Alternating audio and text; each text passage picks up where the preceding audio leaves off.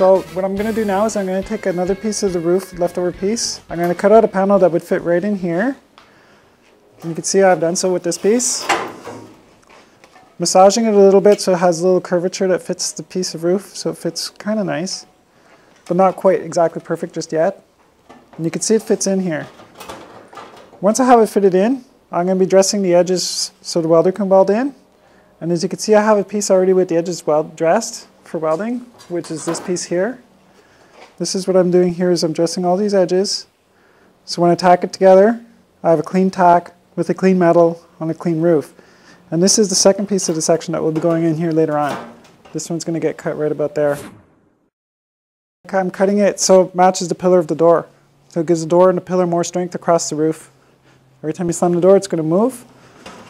This, make it, this is going to make this whole joint here stronger because there is none right now.